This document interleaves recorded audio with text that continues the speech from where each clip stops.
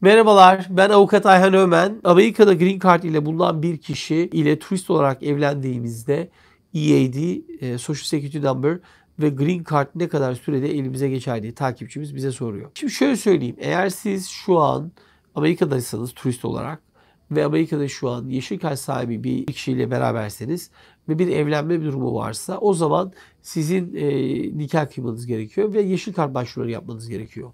Sizin bahsettiğiniz çalışma izni ve sosyal güvenlik numarası gibi ya da Green Card'ın sizinki olan tarafının başvurusunu yapabilmeniz için önemli olan sizin nikah kıyı olmanız ve kotaların açık olması.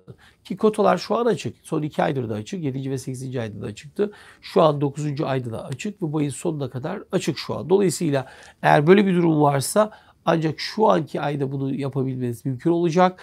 Çünkü gelecek ayın kotalarını daha bilmiyoruz. Yakında öğreneceğiz. Ama o kotalarda süreler değişirse o zaman maalesef e, beklemek zorunda kalacaksınız ve çalışma izinlerine geçemeyeceksiniz.